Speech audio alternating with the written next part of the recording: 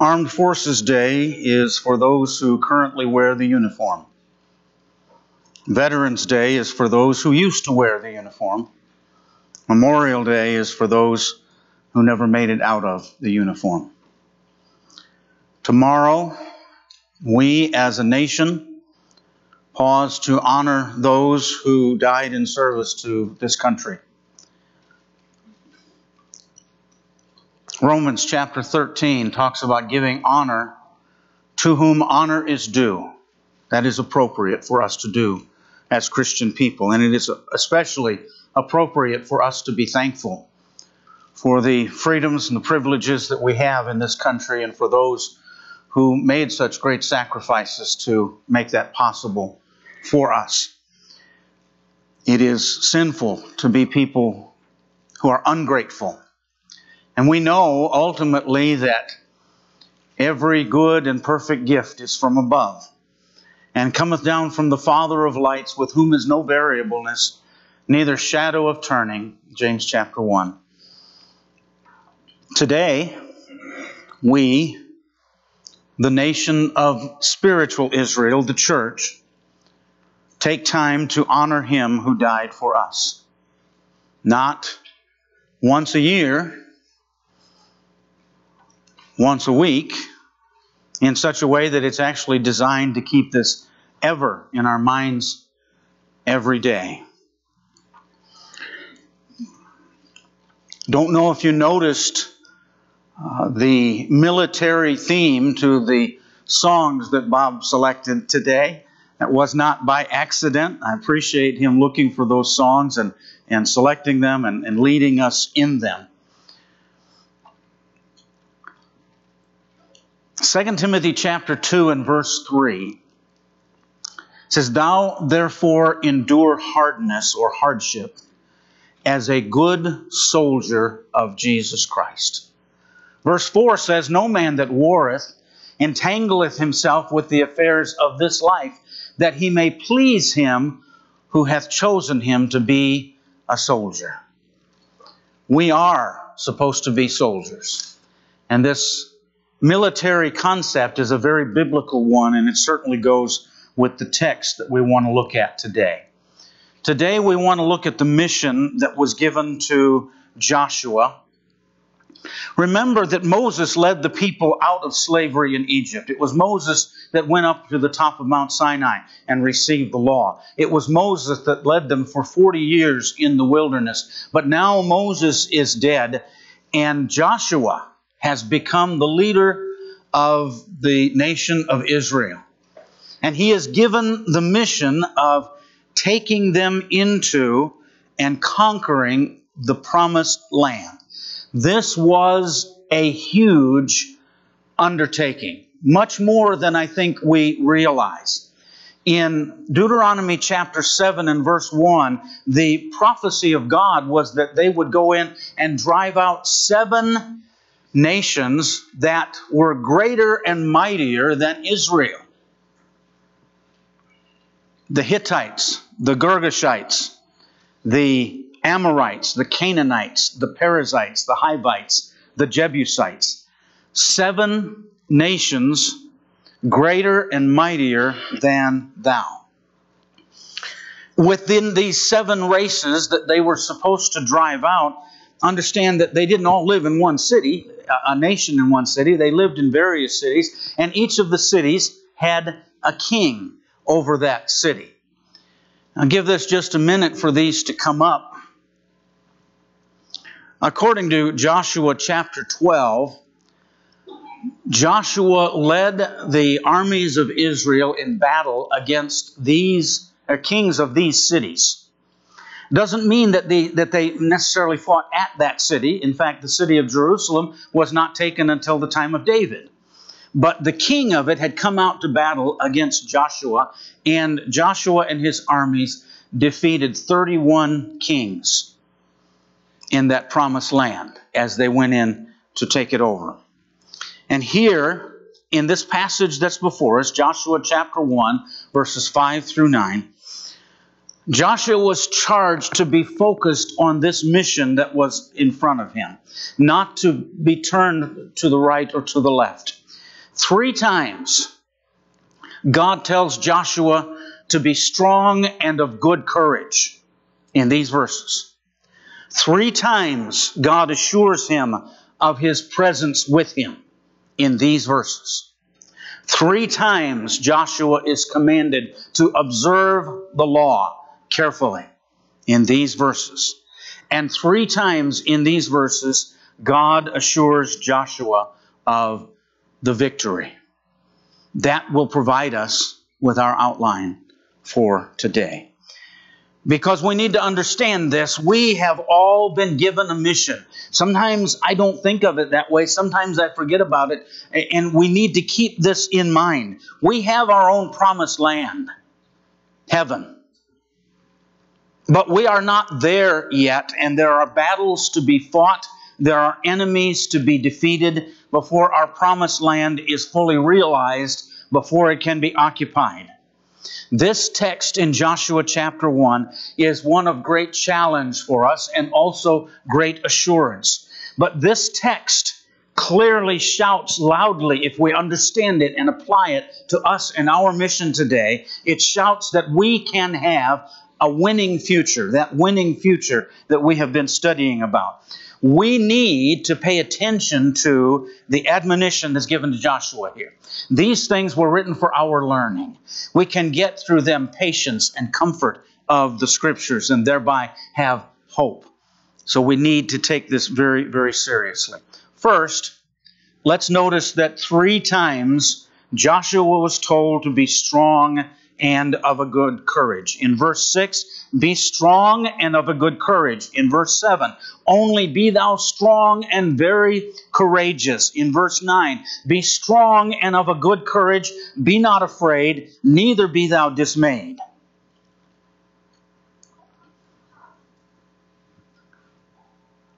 This admonition is needed today to be strong and courageous.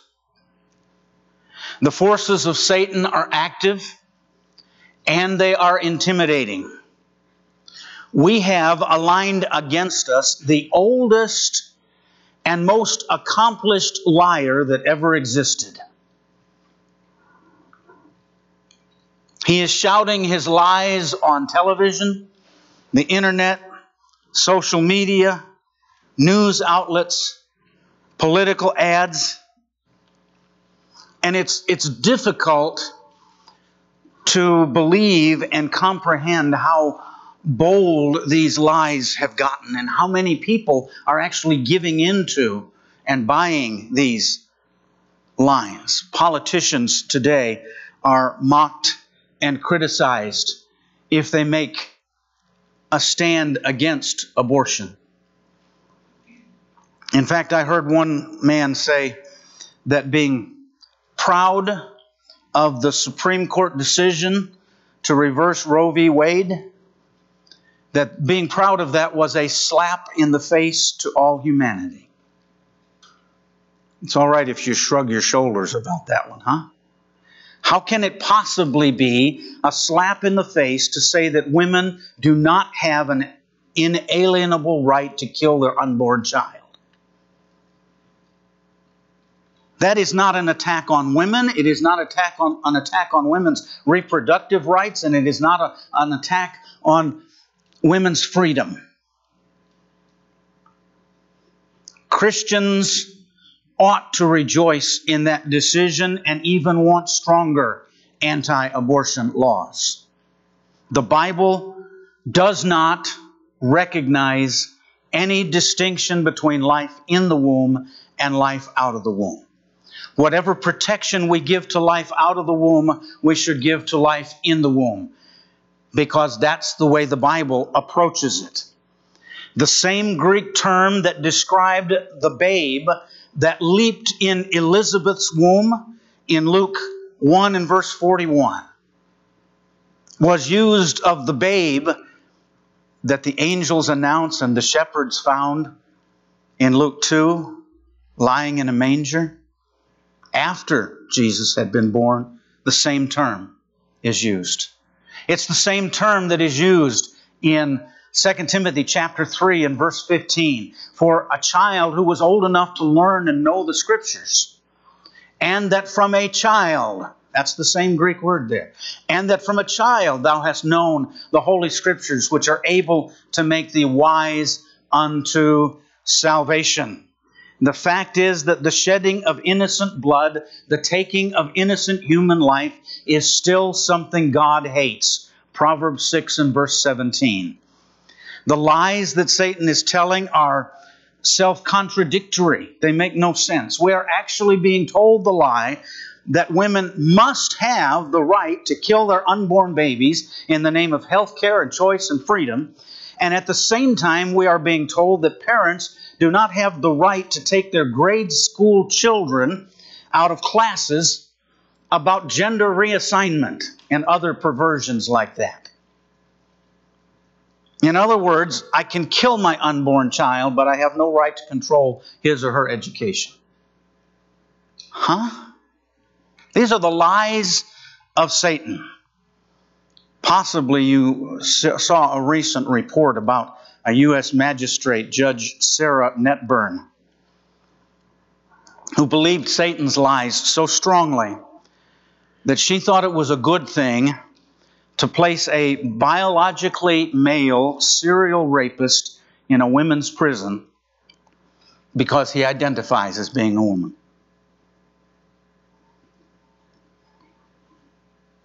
Brothers and sisters, let us not be intimidated into abandoning the truth just because the lies are so bold.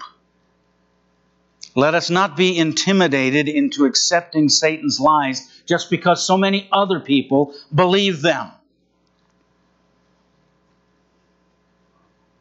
2 Timothy chapter 1 and verse 7 For God hath not given us the spirit of fear, but of power and of love and of a, a sound mind or self control, depending on which version you're looking at there. Fear of Satan, intimidating, allowing Satan to intimidate us. That does not come from God. We, in fact, must not be afraid of men. I love Isaiah 51 and verse 12. Was an older sister in the faith. I say older, she was up in her 90s. When she pointed that verse out to me, not that I hadn't read it, but I hadn't really focused on it before. Isaiah 51 and verse 12 I, this is God talking, I, even I, am he that comforteth you. Who art thou that thou shouldest be afraid of a man that shall die, and the Son of Man which shall be made as grass? God is God.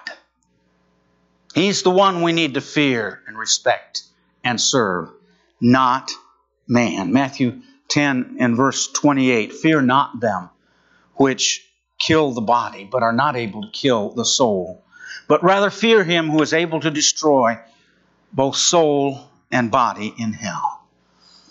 We need to be afraid to be ashamed and ashamed to be afraid. In this climate, in this world around us, in this culture do we need to be reminded that the persecutions we face here in this country at this time are minor at best? Hebrews chapter 12 and verse 4 Ye have not yet resisted unto blood, striving against sin. We have not been beaten, imprisoned. We are not in danger of torture or death. And so these admonitions be strong and of a good courage speak not only to Joshua, but to us. Secondly, three times in this passage, God assures Joshua of his presence. In verse 5, he says, As I was with Moses, so I will be with thee. Again in verse 5, I will not fail thee or forsake thee.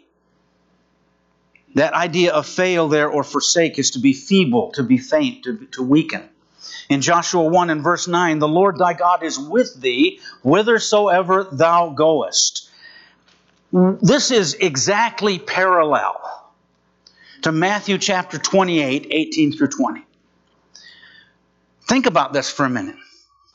Jesus told his apostles, all power, all authority is given me in heaven and in earth. Go ye therefore and teach or make disciples of all nations, baptizing them in the name of the Father, the Son, and the Holy Ghost, teaching them to observe all things whatsoever I have commanded you. And lo, I am with you always, even unto the end of the world. Think about what that means. The apostles were being given a mission that was of much greater magnitude than the mission that was given to Joshua. But the same reassurance was given to them I'm with you. Doesn't matter what country you go to, doesn't matter what prison they put you in, I'm going to be with you every minute of every day. I'm with you always, even unto the end of the age. Now, if it's true, and we've talked about this in the past, if it's true that that mission passed from the apostles to all Christians, then the assurance passed from the apostles to all Christians also.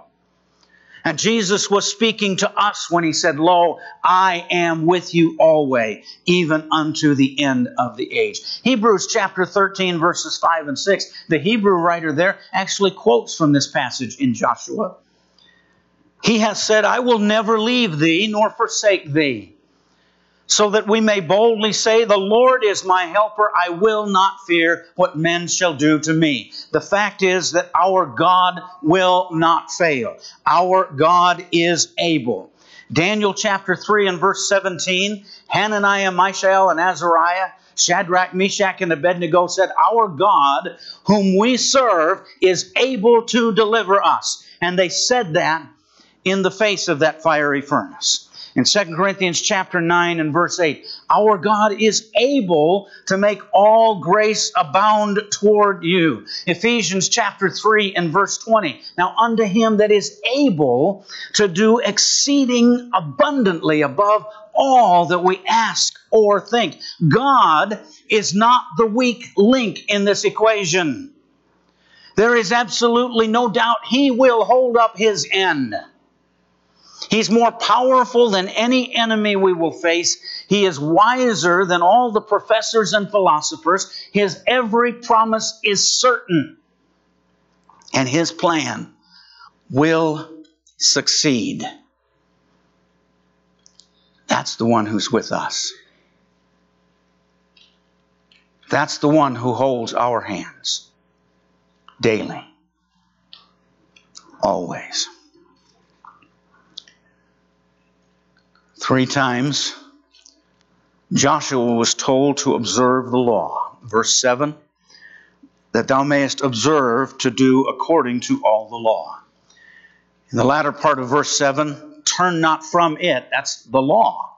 Turn not from it to the right hand or to the left. That's what he was not supposed to turn away from, the law that was given on Mount Sinai. And then in verse 8, that thou mayest observe to do according to all that is written therein. If we want a winning future, as individual Christians, as a congregation of God's people, if we want prosperity for this congregation, we must not depart from the law, not to the right or to the left. This seems remarkably parallel to the, the passages that teach us we cannot add to or take away from the Word of God, departing from, uh, from the law to the right hand or to the left. We need to be very, very careful not to make laws or restrictions that God did not make. That would be teaching for doctrines the commandments of men Matthew 15 and verse 9, where Jesus says that that would make our, our worship vain. We must also not accept the liberal attitudes of our times where people are wanting to relax the commands of God as if those commands were mere suggestions, allowing things that are not part of the divine pattern. Just give you a quick list of, of possible things that we're talking about here. Hand clapping in the worship, praise teams, children's church, expanding women's leadership roles in, in worship or in the home. Second John verse 9 addresses those who would transgress, who would go onward, who would go beyond the doctrine of Christ. And it says they have not God. We must not depart to the right hand or to the left. Someone comes along with some new idea, some new type of outreach, some new approach to worship, some new hermeneutic or approach to understanding the Bible. We must not evaluate such things by our own minds, what seems right to us. The question is not simply does the Bible condemn this or does it say not to do it? The question is does the New Testament authorize this? Colossians 3:17 Whatsoever you do in word or in deed do all in the name of the Lord Jesus, giving thanks to God and the Father by him. If it's not authorized, it is condemned by that very verse. Psalm 119, 105, David said, Through thy precepts I get understanding. Therefore, I hate every false way. How did David know what was a false way? Through the precepts of God. Hebrews 5, 12 through 14. When for the time ye ought to be teachers, ye have need that one teach you again, which be the first principles of the oracles of God, and are become such as have need of milk and not of strong meat. For everyone that useth milk is unskillful in the word of righteousness. But strong meat belongeth to them that are of full age, even to them who by reason of use have their senses exercised to discern both good and evil. We must not depart from the law. And then the fourth thing we want to look at is that three times Joshua was assured of victory and prosperity. Verse 7 that thou mayest prosper whithersoever thou goest. Verse 8 then shall thy way prosper. And then he goes on to say later in verse 8 then thou shalt have good success. These promises of God were obviously conditional. Joshua would not have succeeded if he failed to be strong and of a good courage. Joshua would not have succeeded if he turned from the law to the right hand or to the left, if he failed to observe all of the law to do it. Here's an interesting question. I never thought of it exactly this way until I was preparing this lesson. What did the observance of the law of Moses had to do have to do with them winning their battles? Defeating these 31 kings that they had to go against.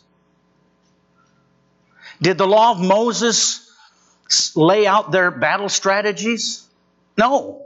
Did it tell them what weapons to take? No. Did it tell them how to train their soldiers? No. Victory in battle for Joshua and his army depended on their observation of the law. It depended on God being with them, their relationship to God. And their relationship to God depended on whether or not they observed the law. Again, we could go back. I didn't put this one on the chart, but we could go back to Matthew 28 18 through 20. If we're going to take the gospel to the whole world, we have to be concerned about everything that Jesus has taught and teach people to observe all those things that he has taught we can have a winning future as a congregation and as individual Christians if we are strong and of a good courage, if we believe that God is with us, and if we will be strict and focused on obeying His law. You see, our victory depends on our relationship with God. And our relationship with God depends on whether or not we will strictly observe and follow His law, just like it was for Joshua. And we cannot have a winning future if we depart to the right hand or to the left. 1 John chapter 5 and verse 4 we just sang. Whatsoever is born of God overcometh the world, and this is the victory that overcometh the world, even our faith. Our final victory. Revelation 21, verses 6 and 7. And he said unto me, It is done. I am Alpha and Omega, the beginning and the end. I will give unto him that is athirst of the fountain of the water of life freely. He shall he that overcometh shall inherit all things, and I will be his God, and he shall be my son. If we will be strong and of a good courage, if we will observe all things in the law of Christ and do those things, then God will be with us and the victory will be ours. There is no doubt of any of those things. There is no doubt of the necessity of those things. And I would remind you the verse we started with 2 Timothy chapter 2 and verse 3. Thou therefore endure hardship as a good soldier of Jesus Christ. No man that warreth entangleth himself in the affairs of this life, that he may please him who hath chosen him to be a soldier. This is our responsibility, and this is our task. We have a, Bob described it as a non traditional invitation song today, but I think it's especially fitting for this lesson. We're marching to Zion. It brings back that military idea that we are an army. It also brings back that idea that we have a promised land that we are going to. And this is for all them that love the Lord. That we are marching to Zion. Does that describe you? Have you been baptized into Jesus for the remission of your sins? Scriptures teach that concept of believing in Jesus, repenting of our sins, and confessing our faith in Jesus, and then being buried in the waters of baptism, raised to walk in newness of life, Romans 6, 3 and 4. Beginning that journey toward Zion, toward our heavenly home. Are you still walking that road?